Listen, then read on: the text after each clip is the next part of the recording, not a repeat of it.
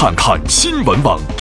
结束了，可是关于好声音的话题呢，却还在延续。在比赛中啊，导师杨坤一直是用自己的三十二场演唱会来做诱饵，威逼利诱参赛选手加入自己的队伍。那比赛之后呢，三十二场演唱会也成为了杨坤最牛的口头禅。而如今比赛却已经结束了，可是演唱会却始终呢不见展开，搞得无数网友呢都非常替杨三十二郎着急。而最近啊，杨坤终于在微博中贴出了自己演唱会的巡演地点。却也由此让网友们喷饭吐槽，称这是三十二郎的全国乡镇演唱会呢。我今年有三十二场的全国巡演的个人演唱会，我邀请你当我的嘉宾。贿赂，贿赂。说点实在的，我今年有三十二场演出，个人演唱会。啊，我如果你跟了我，如果你跟了我。我会把其中一场放在你们那个寨子里面演。哇！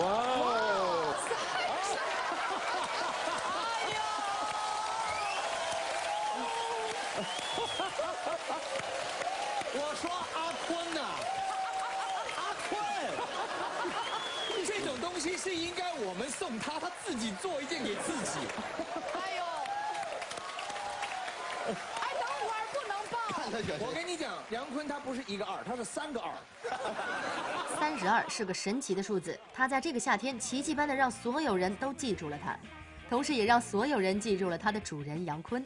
会在二零一二年举办三十二场个人演唱会，即使中国好声音结束了，二零一二年只剩下俩月了，也无法让大家忘记杨坤在今年还有三十二场个人演唱会没举行。今天是二零一二年十月十八日，离今年结束还有七十四天。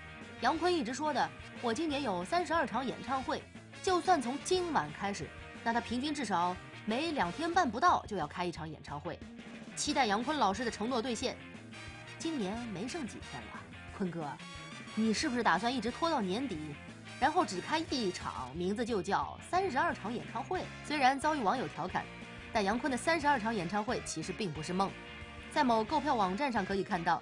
杨坤接下来的演唱会还真叫杨坤。其实你不了解我，全国三十二场巡回演唱会。不过原本是二零一二年有三十二场演唱会的杨坤，却变成了从今年年底到明年春天。凑齐了三十二场演唱会，元芳也知道我已经不止三十二场了。十一月十七日贵阳，十一月二十四日昆明，十二月二日赣州，十二月八日南昌，十二月三十日北京，十二月三十一日澳门，一月一日澳门，一月二日东莞，一月四日深圳，一月六日惠州，一月九日常州，写不下了。不过，即便杨三十二郎的演唱会凑齐了三十二场，即便这演出地点横跨了祖国的大江南北，但是细心的网友们却发现，大多数的巡演都集中在二三线城市，甚至包括赣州、丽水、宜春等演出市场并不繁荣的城市。因此被网友们调侃，这是一场声势浩大的全国三十二场乡镇巡回演出。而位于辽宁省营口市的鲅鱼圈更是躺着中枪，上海没有，广州没有，而鲅鱼圈居然也是其中一站。坤哥走的是乡镇包围城市的路线呢，远方你怎么看？鲅鱼圈站都出来了，还不够乡镇？一想到杨坤两眼泛着光，信誓旦旦地说出“我今年”三个字。都忍不住笑喷，这爷们太可爱了。据了解，鲅鱼圈位于渤海辽东湾东北岸，辖区内总共有四个街道、三个镇，是辽宁省营口市下属的一个区。